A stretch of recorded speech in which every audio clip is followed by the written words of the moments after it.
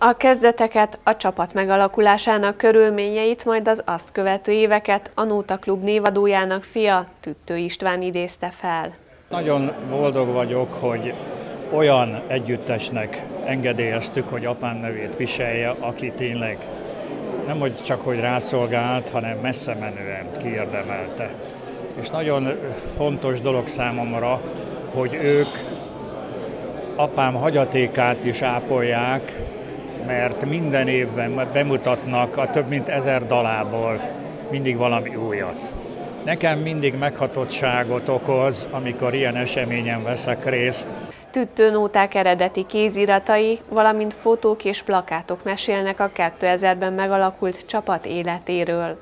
A hétfőn nyílt kiállításra az együttes barátai, rajongói is ellátogattak. Nekünk volt, sajnos volt egy nagyon beteg testvérünk, aki mozgáskorlátozott volt, és a 60. születésnapjára meghívtuk a Lajos és a Dudi eljöttek, és köszöntötték ének szóval, harmonika szóval, hát ez nekünk akkora élmény volt, és hát szegény bátyámnak is, aki hát most már nem lehet közöttünk, de hát ez akkora élmény volt nekik is, meg nekünk is, hogy ezt kihagyni nem lehet, és azóta se tudjuk nekik igazából meghálálni, hogy ezt megtették nekünk.